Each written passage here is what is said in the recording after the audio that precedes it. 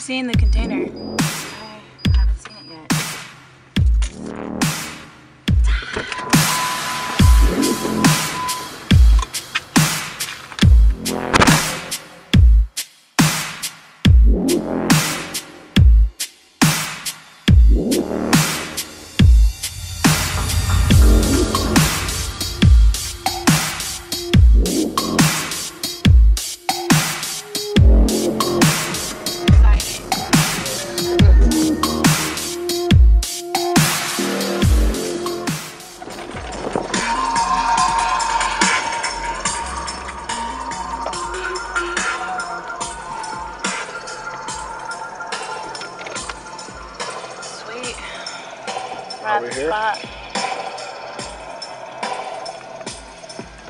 How's it feel? Vampires are at large, I tell you. Vampires.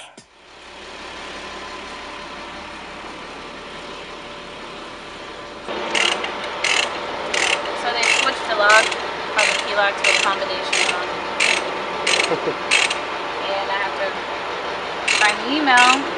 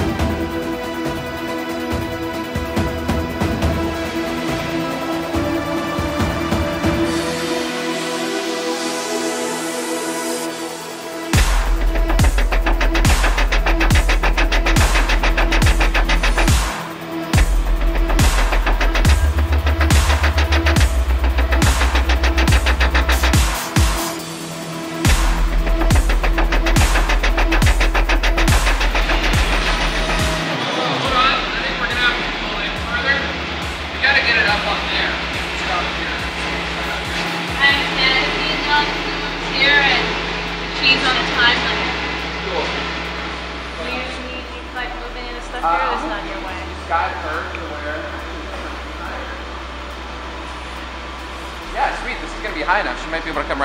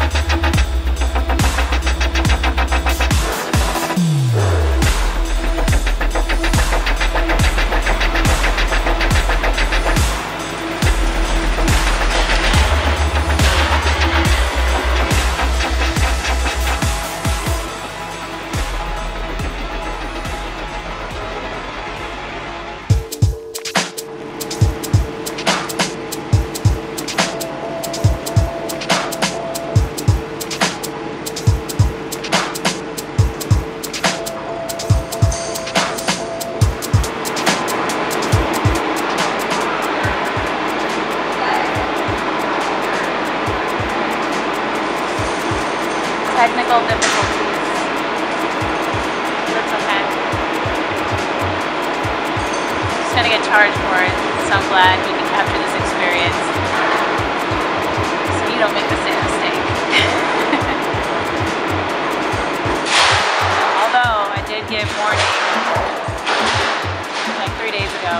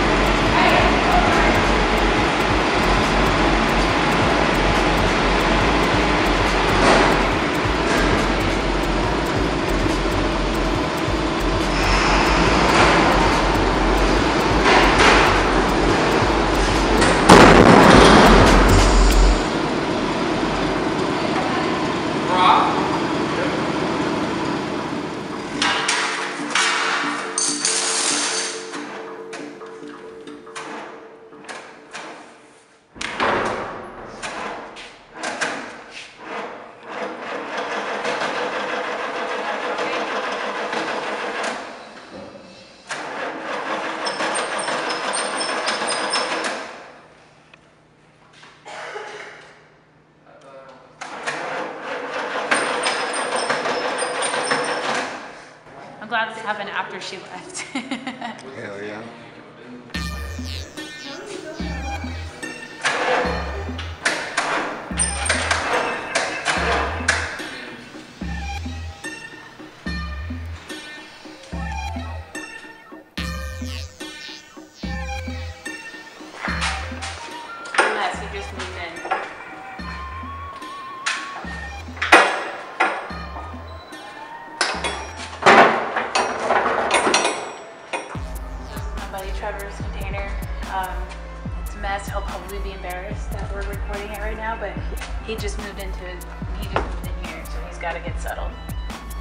Um,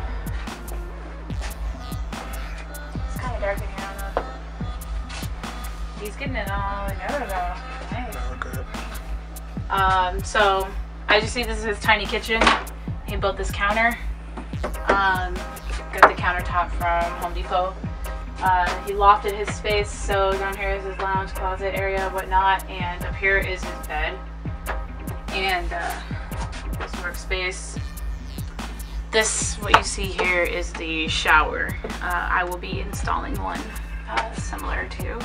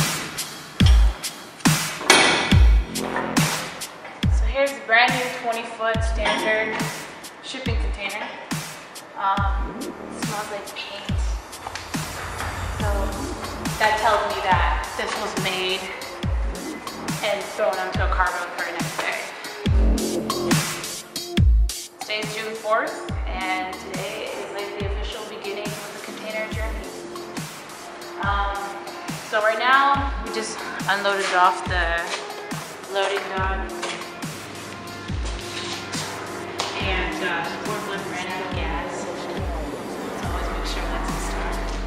And then we're gonna move over to my space, which I'll walk you over to. Uh, then the aero process begins. Meaning I'm just gonna leave it parked here and open. Fumes are strong.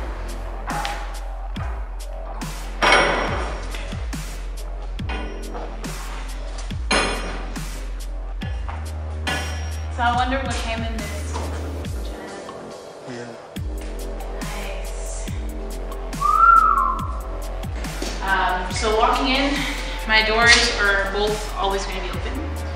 Uh, given about a foot back right here, similar to my friend's container, I'll be installing a shower. And then moving on from the shower, we come this way. There will also be the mini kitchen, so mini fridge and everything will be right along these sides and uh, the loft area. So the bed loft area will probably be roughly, the loft area will probably come up about half a foot above my head.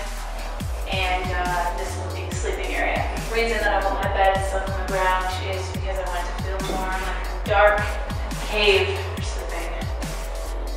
Uh, and then I will be installing a little ladder against this wall so you can climb up to the top of the loft studio, uh, corner desk, and uh, the whole nine. About five by five of this back steel will be coming off and I'll be installing a window here. Uh, and then that leaves all this open space right here, which I'll call the couch, futon of some sort. But yeah, you can basically imagine this like a container loft. First is we are going to cut the holes, uh, considering the planes that come off of the plasma cutter. Uh, so before anything is done, it's holes. So we'll be cutting out the holes for the windows. Um, one over there, like I said, back there. We'll have one right here tentative plans on the skylight. This is Rex. This is the warehouse cat.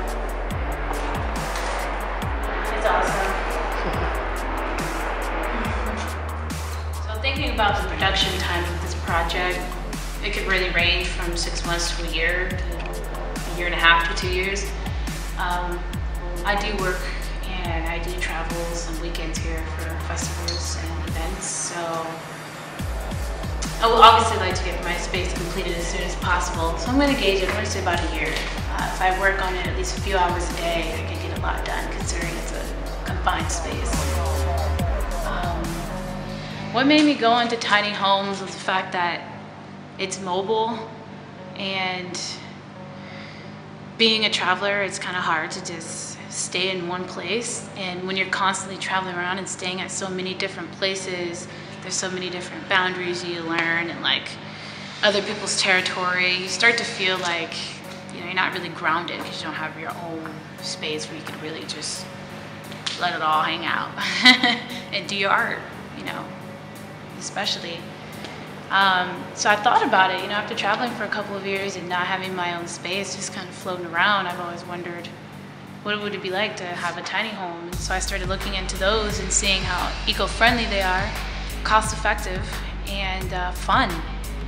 Um, so yeah, the need of wanting to build my own home that I could take with me is what drew me in the direction of discovering the shipping container community and you know homes.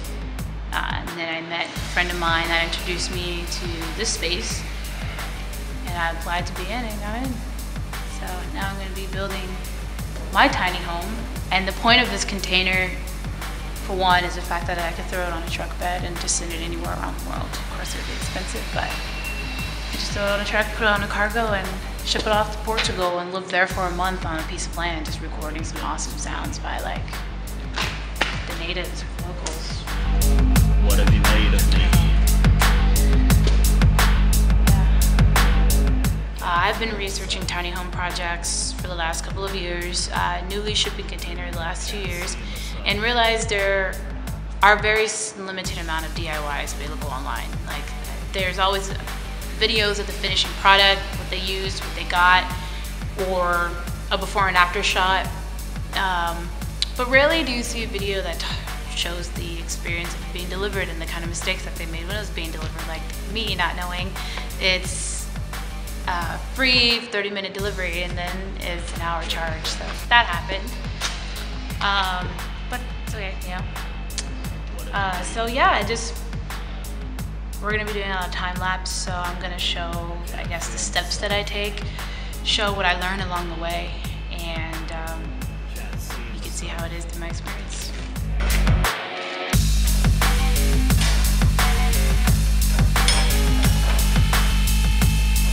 So one of the lessons learned today on the delivery process was I was unaware that there is a time delivery charge after 30 minutes.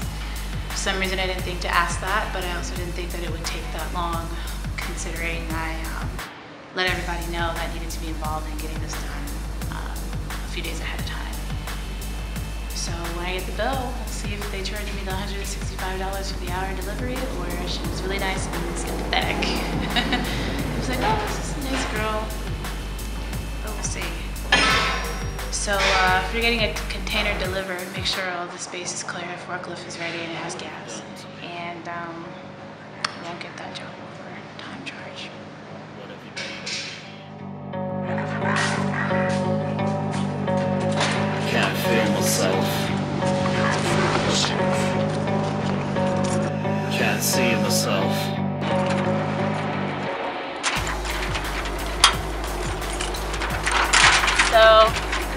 have it for today.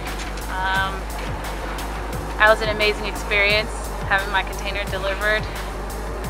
Now I have to get to work, but um, on the next episode I want to say you guys could expect to see the the first move, which is going to be the cutting of the holes as I was mentioning earlier because it's such a flammable process.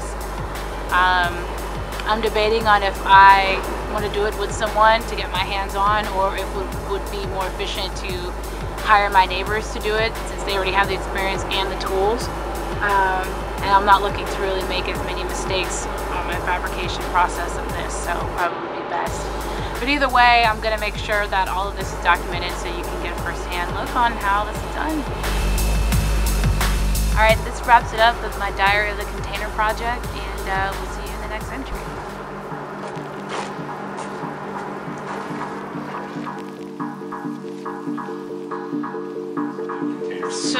Happening right now is Scott going over how he uh, did his layout before we actually go in with the plasma cutter and cut that, and uh, teaching me as well. So So let's do this. Um, you got your welding jacket, you got your fume hood. We're gonna um, grab a mask. This does smell a little bit.